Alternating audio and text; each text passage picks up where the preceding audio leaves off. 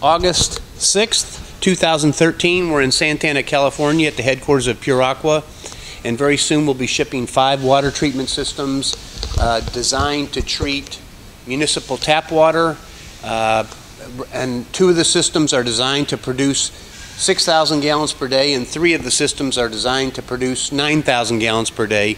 Uh, more uh, exactly, two of the systems have four 4x40 membrane elements, and the other three have six 4x40 membrane elements. They're plumbed in series uh, for maximum recovery, uh, and it, the pre-treatment, since it's municipal tap water, will be activated carbon filter for dechlorination and a softener uh, to remove hardness.